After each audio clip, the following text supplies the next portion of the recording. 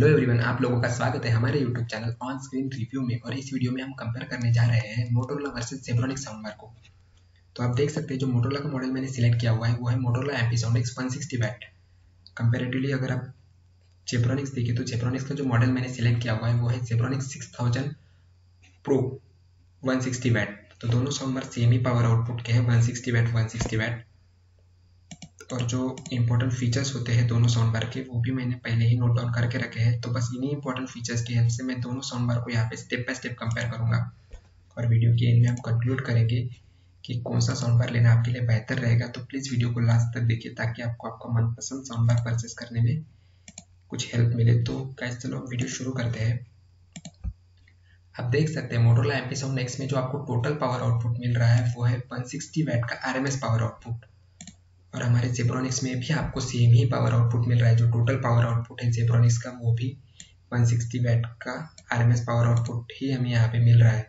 तो क्या होता है पावर आउटपुट से आपके साउंड के क्वालिटी पे तो कोई इम्पैक्ट नहीं होता बट जो आपके साउंड का लाउडनेस है, वो थोड़ा सा यहाँ पे अफेक्ट करता है। अगर आपके साउंड बार का पावर आउटपुट बहुत कम है तो थोड़ा सा साउंड का जो लाउडनेस है, वो थोड़ा कम हो जाता है। और अगर पावर आउटपुट ज़्यादा है तो साउंड का जो लाउडनेस है, वो भी थोड़ा ज़्यादा होता है।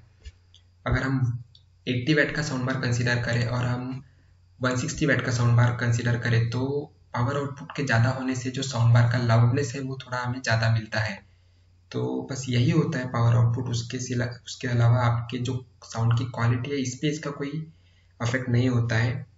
तो बट कंपैरिजन करने के लिए हम पावर आउटपुट को कंसिडर करते हैं, क्योंकि पावर आउटपुट से ही हम थोड़ा सा साउंड बार को इजीली कंपेयर कर सकते हैं।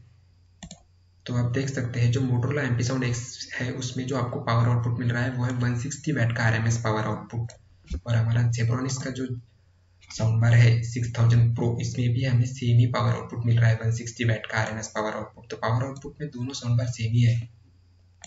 उसके बाद अगर हम सबूफर की बात करें तो हमें मोटोरोला एमपी साउंड एक्स में जो सबूफर मिल रहा है, वो है 60 वैट का वायरलेस सबूफर तो सबूफर का पावर आउटपुट आप देख सकते हैं 60 वैट का वायरलेस सबवूफर हमें मोटोरोला एपी साउंड एक्स में मिल रहा है।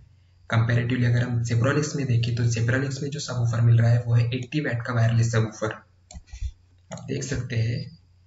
तो क्या होता है, जो सबवूफर है सबवूफर के साउंड बार के साथ होने से जो बेस होता है, वो हमें काफ़ी हेवी बेस यहाँ पे मिलता है। अगर आपके साउंड बार के साथ आपको अगर सबवूफर मिल रहा है तो वहाँ पे आपको काफ़ी थम्पिंग बेस एक्सपीरियंस करने को मिलेगा। अगर आप कोई एक्शन मूवी देख रहे हो या कोई म्यूज़िक सुन रहे हो तो वहाँ पे आपको काफ़ी इन्हांस साउंड क्वालिटी एक्सपीरियंस करने को मिलेगी अगर आपको सबवूफर मिलता है आपके साउंड बार के साथ। क्योंकि यहाँ पे जो बेस होता है, वो काफ़ी हेवी बेस आपको सबवूफर से डिलीवर होता है।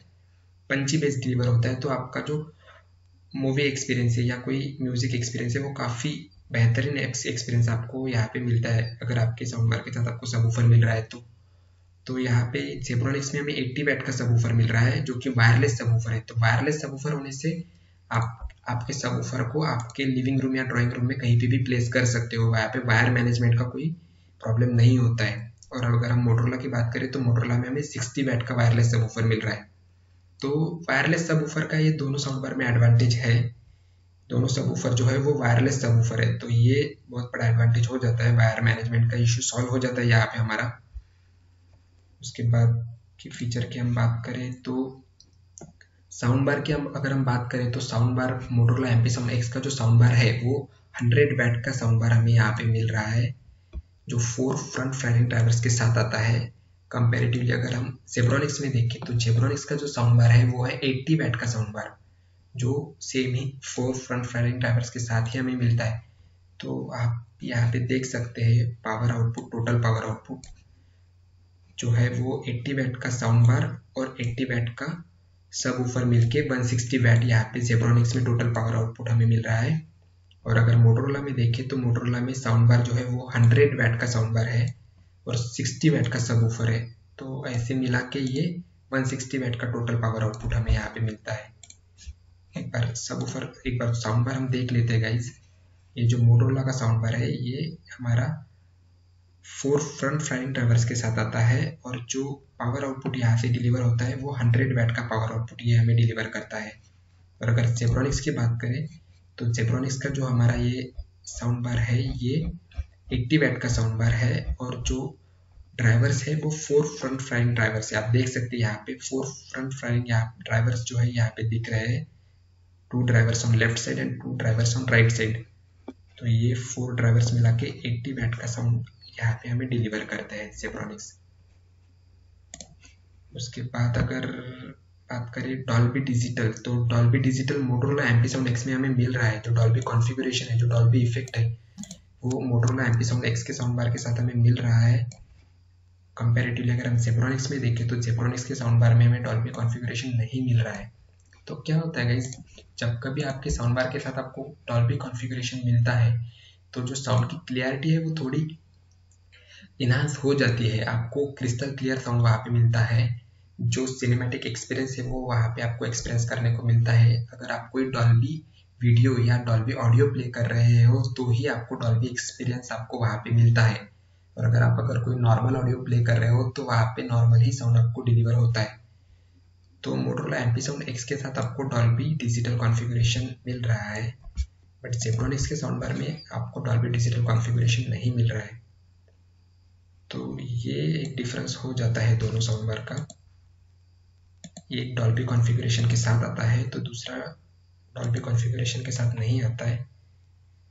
उसके बाद के फीचर्स की हम बात करें तो कनेक्टिविटी कनेक्टिविटी बहुत इंपॉर्टेंट पॉइंट्स है, क्योंकि कनेक्टिविटी ऐसा है कि कनेक्टिविटी से ही आप आपके साउंड बार को आपके एल या एलसीडी के साथ कनेक्ट कर सकते हो। तो कनेक्टिविटी में अब अगर Motorola M P sound X की बात करें तो यहाँ पे हमें H D M I R port मिल रहा है optical port aux port Bluetooth version 4.2 और यूएसबी पोर्ट ये कनेक्टिविटी ऑप्शन हमें मोटोरोला एपिसोड एक्स में मिल रहे हैं। कंपेरेटिवली अगर हम जेब्रॉनिक्स में देखें तो जेब्रॉनिक्स में हमें H D M I R port optical port aux port Bluetooth version 5.0 और यूएसबी पोर्ट ये लगभग सभी कनेक्टिविटी ऑप्शन हमें जेब्रॉनिक्स में भी मिल रहे हैं। तो आप देख सकते हैं दोनों साउंड बार के साथ लगभग सभी कनेक्टिविटी ऑप्शन हमें मिल रहे हैं। तो क्या होता है, जो कनेक्टिविटी का जो इश्यू है, वो दोनों साउंड बार में आपको नहीं होने वाला है, क्योंकि सभी कनेक्टिविटी ऑप्शन हमें दोनों साउंड बार में मिल रहे हैं। तो आप आपके नए या पुराने एलईडी या एलसीडी को आपके इन दोनों साउंड बार के साथ इजीली कनेक्ट कर सकते हो। वहाँ पे कनेक्टिविटी में कोई भी इशू नहीं होने वाला है दोनों साउंड बार में, क्योंकि दोनों साउंड बार में लगभग सभी कनेक्टिविटी ऑप्शन है। और एड ऑन की अगर बात करें तो दोनों साउंड बार के साथ जो HDMI पोर्ट है, वो एच डी पोर्ट मिल रहा है। तो क्या होता है एच डी पोर्ट से अगर आप आपके साउंड बार को आपके LED के साथ अगर कनेक्ट करते हो तो जो साउंड साउंड की क्लियरिटी है, वो एच डी क्लियरिटी वहाँ पे डिलीवर होती है साउंड बार से। काफ़ी क्रिस्टल क्लियर साउंड वहाँ पे आपको मिलता है। अगर H D M I arc port से आप कनेक्ट करते हो आपके साउंड बार को, आपके एल या एल के साथ तो। तो ये एक एडवांटेज है दोनों साउंड बार का कि दोनों साउंड बार के साथ आपको H D M I arc port मिल रहा है। तो वहाँ यहाँ पे आपको काफ़ी क्लियर साउंड एक्सपीरियंस करने को मिलेगा अगर आप H D M I port का यूज़ करते हो तो। उसके बाद आता है कॉन्फ़िगरेशन तो दोनों साउंड बार 2.1 चैनल के साथ आते हैं। दोनों साउंड बार के साथ आपको स्टीरियो साउंड इफ़ेक्ट एक्सपीरियंस करने को मिलने वाला है। एक होता है 5.1 चैनल एक होता है 2.1 चैनल तो क्या होता है 2.1 चैनल में आपको स्टीरियो साउंड इफ़ेक्ट मिलता है। और 5.1 चैनल साउंड बार है आपका तो वहाँ पे आपको सराउंड साउंड इफ़ेक्ट मिलता है। तो बस यही एक डिफरेंस होता है 2.1 चैनल और 5.1 चैनल में। तो दोनों साउंड बार जो है वो 2.1 चैनल है सेम ही कॉन्फ़िगरेशन है। तो दोनों साउंड बार के साथ आपको स्टीरियो साउंड इफ़ेक्ट एक्सपीरियंस करने को मिलने वाला है। तो ये स्टीरियो साउंड इफ़ेक्ट भी काफ़ी बेहतरीन साउंड इफ़ेक्ट होता है गाइज़ 5.1 चैनल का जो सराउंड साउंड इफ़ेक्ट है, उसके वो थोड़ा सा सराउंड साउंड इफ़ेक्ट आपको वहाँ पे मिलता है। जो साउंड आता है वो थोड़ा सा सराउंडिंग साउंड वहाँ पे आपको मिलता है और 2.1 चैनल में आपको स्टीरियो साउंड इफ़ेक्ट मिलता है। तो ये भी काफ़ी बहुत मतलब बढ़िया एक्सपीरियंस है, बढ़िया साउंड एक्सपीरियंस है ये भी। 5.1 चैनल में आपको क्या होता है, आपके साउंड बार और सबवूफर के अलावा दो एक्स्ट्रा स्पीकर्स मिलते हैं। तो वो स्पीकर से आप सराउंड साउंड इफ़ेक्ट एक्सपीरियंस कर सकते हो। वो स्पीकर आपको आपके बैक साइड में प्लेस करना होता है। और 2.1 चैनल में आपको एक साउंड बार मिलता है और एक सब मिलता है। तो ये दो यूनिट मिला के आपको 2.1 चैनल का साउंड इफ़ेक्ट प्रोवाइड करते हैं, जो स्टीरियो साउंड इफ़ेक्ट होता है, वो प्रोवाइड करते हैं। तो दोनों साउंड बार 2.1 चैनल है। उसके बाद अगर बात करें वॉल माउंट की तो हाँ दोनों साउंड बार के साथ वॉल माउंट किट आती है। तो दोनों साउंड बार को आप माउंट कर सकते हो। जनरली हम हमारे साउंड बार को, हमारे एलईडी या एलसीडी के नीचे या ऊपर ही माउंट करते हैं। तो हाँ दोनों साउंड बार को आप माउंट कर सकते हो। इसके साथ जो वॉल माउंट किट है, वो आती है। तो ये एक एडवांटेज है। किसी किसी साउंड बार में वॉल माउंट का ऑप्शन नहीं होता है तो वो साउंड बार हमें किसी टेबल पे टॉप कर प्लेस करना होता है। बट ये दोनों साउंड बार में ये एक एडवांटेज है कि आप वॉल माउंट भी कर सकते हो। उसके बाद के हमारे फीचर्स आते हैं Motorola M P sound X में आप देख सकते हैं, जो लॉन्च डेट है, जो फ़र्स्ट अवेलेबल हुआ था Motorola M P sound X वो twenty twenty third June twenty twenty को ये अवेलेबल हुआ था। कंपेरेटिवली अगर हम जेब्रॉनिक्स को देखें तो जेब्रॉनिक्स लॉन्च हुआ था फोर्टीन ऑफ़ नवंबर 2019 तो ये दोनों साउंड की लॉन्च डेट हो जाती है। उसके बाद बात करें प्राइस की तो मोटरोला एम साउंड एक्स की जो अभी प्राइस चल रही है, वो है nine thousand nine hundred and ninety nine comparatively अगर हम जेब्रॉनिक्स सिक्स थाउज़ेंड प्रो देखें तो इसकी अभी की प्राइस है seven thousand four hundred and ninety nine तो प्राइस में काफ़ी डिफरेंस है इस दोनों साउंड बार के। जो मोटरोला एम साउंड है, जो Motorola M P sound X है, वो काफ़ी महँगा है हमारे जेब्रॉनिक्स के साउंड बार से। लगभग 2500 का डिफरेंस है इन दोनों साउंड बार में। अगर हम स्पेसिफिकेशन वाइज देखें दोनों साउंड बार को तो दोनों साउंड बार के जो स्पेसिफिकेशन है वो लगभग सेम ही है। आप देख सकते हैं पावर आउटपुट भी सिमिलर है। जो कनेक्टिविटी ऑप्शन है वो भी दोनों साउंड बार के साथ आपको सेम ही कनेक्टिविटी ऑप्शन मिल रहे हैं। हाँ डिजिटल डॉल्बी कॉन्फ़िगरेशन हमें जेब्रॉनिक्स में नहीं मिल रहा है बट मोटरोला में हमें डिजिटल कॉन्फ़िगरेशन मिल रहा है बट वो ये एक पॉइंट अगर हम छोड़े तो बाकी सभी पॉइंट दोनों सोमवार के सिमिलर ही है। बट अगर प्राइस की बात करें हम तो प्राइस में काफ़ी डिफरेंस है दोनों बार के। तो ये हो जाता है हमारा Motorola sound bar Motorola M P sound X का price nine thousand nine hundred and ninety nine Flipkart पे अगर हम जेब्रॉनिक्स की प्राइस देखें तो जेब्रॉनिक्स की प्राइस है seven thousand four hundred ninety nine तो जेब्रॉनिक्स काफ़ी सस्ता है। हमारे Motorola M P sound X से। और अगर स्पेसिफिकेशन वाइज देखें तो स्पेसिफिकेशन वाइज भी दोनों साउंड सिमिलर ही है। तो अगर कोई बजट की बात आती है तो गाइज़ डेफिनेटली आप जेब्रॉनिक्स को प्रेफर कर सकते हो। और अगर बजट इशू नहीं है तो आप मोटरोला को देख सकते हो बट अगर आप देखें तो स्पेसिफिकेशन वाइज के दोनों साउंड सिमिलर ही लग रहे हैं मुझे, जो सब ऊफर है सब ऊफर का भी पावर आउटपुट दोनों का लगभग सेम ही है और दोनों बार का सब ऊफर है, वो सेम ही आपको। जो बेस है वो डिलीवर करने वाला है तो प्राइस वाइज तो गाइस मैं डेफिनेटली आपको रिकमेंड करूँगा कि आप जेब्रॉनिक्स सिक्स थाउज़ेंड प्रो को ही प्रेफर करिए।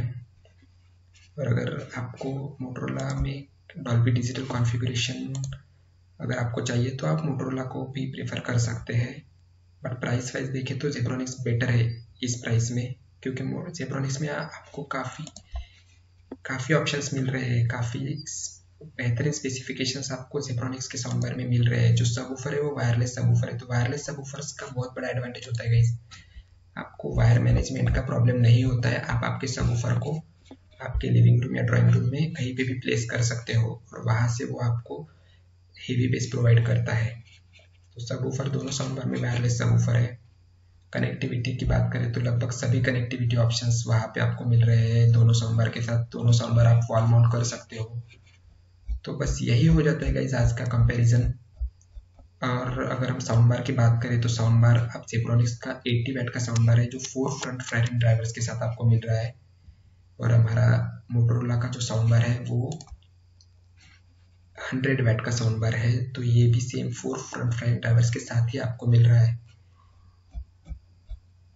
तो बस यही हो जाता है दोनों साउंड बार का आज का कंपैरिजन होप गाइज़ आपको वीडियो अच्छा लगे, अगर वीडियो अच्छा लगे तो प्लीज़ वीडियो को लाइक कर देना। अगर चैनल पे नए हो तो चैनल को सब्सक्राइब की भी कर देना, क्योंकि ऐसे कंपैरिजन वीडियोस में रेगुलरली डालते रहता हूँ साउंड बार के।